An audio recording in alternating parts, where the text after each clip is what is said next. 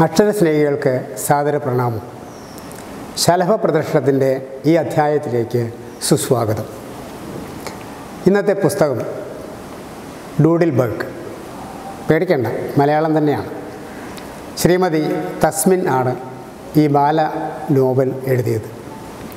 കുട്ടികൾക്ക് മാത്രമായുള്ള നോവലെന്ന് ഞാൻ പറയില്ല. കാരണം നമ്മളെല്ലാവരും കുട്ടികളാണ്. പൂടി മണ്ണിൽ മേലോട്ടും താഴോട്ടും ഇഴഞ്ഞിഴഞ്ഞ് ഇന്ത്യയുടെ ഭൂപടം രചിക്കുന്ന ഒരു കുഞ്ഞൻ കുഴിയാനയാണ് ഈ കഥയിലെ നായകൻ. ഈ കുഴിയാനയുടെ പൂഴി മണ്ണിലെ കസർത്ത് കണ്ടിട്ട് കൗതുകം തോന്നിയ മണിക്കുട്ടൻ. ആ കുട്ടി ചോദിച്ചും ഗൂഗിളിൽ തിരഞ്ഞും കണ്ടെത്തിയ കുഴിയാനയുടെ ജീവചരിത്രമാണ് ഈ നോവൽ എന്ന് പറയാം. എന്തിനാണ് പൂഴി മണ്ണിൽ കുഴി കുത്തി കുഴിയാനകൾ ഇങ്ങനെ മെനക്കെടുന്നത്. അത് പ്രകൃതിയുടെ നിയോഗമാണ്. പൂഴിമണ്ണിലേക്ക് അറിയാതെ ഓടിയെടുക്കുന്ന ചെറുപ്രാണികൾ ചെറുജീവികൾ മണ്ണിടിഞ്ഞ് അകപ്പെടുമ്പോൾ ഓടിച്ചെന്ന് വയറ് നിറയ്ക്കുന്ന കുഴിയാനയുടെ തന്ത്രമാണ്.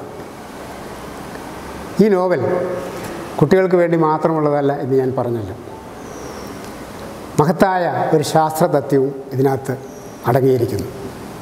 കുഴിയാനകൾ കാലത്തിന്റെ പൂർണതയിൽ മനോഹരമായ വർണത്തുമ്പികളായി പരിണമിക്കുന്നു എന്നുള്ളതാണ് ആ ശാസ്ത്ര സത്യം അതൊരു പരിണാമകഥയാണ്.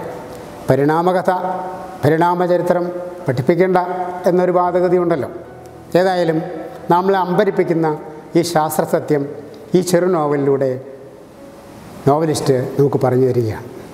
സുഹൃത്തുക്കളെ ഈ പ്രകൃതി നാം അധിവസിക്കുന്ന അതിമനോഹരമായ ഈ ഭൂമി എത്രയോ വിസ്മയകരങ്ങളായ രഹസ്യങ്ങളുടെ കലവറയാണ്. ഓരോ അണുവിനും അതിന്റേതായ ജീവിത ശൈലിയുണ്ട് ജീവിത ദൗത്യമുണ്ട് നിസ്സാരങ്ങളെന്ന് കരുതുന്നവയെ വലിയ ദൗത്യമാണ് പ്രകൃതി ഏൽപ്പിച്ചിരിക്കുന്നത്. വലിയവരെന്ന് ഭാവിക്കുന്ന നമുക്ക് ഉള്ളതുപോലെ തന്നെ ഓരോ അണുവിനും ജീവിത കാലയളവിൽ നിർവഹിക്കേണ്ടതായ നിറവേറ്റേണ്ടതായ ഒരു കടമയുണ്ട് ദൗത്യമുണ്ട്. ഇത്തരം ഒരു വലിയ സത്യത്തിലേക്കാണ് ഈ നോവൽ നമ്മുടെ മിഴികൾ തുറപ്പിക്കുന്നത്. അതുകൊണ്ട് എല്ലാവരും അരമണിക്കൂർ പോലും ആവശ്യമില്ലാത്ത വായിക്കാൻ എടുക്കാത്ത ഈ പുസ്തകം വായിച്ചിരിക്കണം. കുട്ടികൾ മാത്രമല്ല വലിയവരും. നല്ലൊരു വായനാനുഭവത്തിലേക്ക് എല്ലാവരെയും ക്ഷണിച്ചുകൊണ്ട് നന്ദി നമസ്കാരം.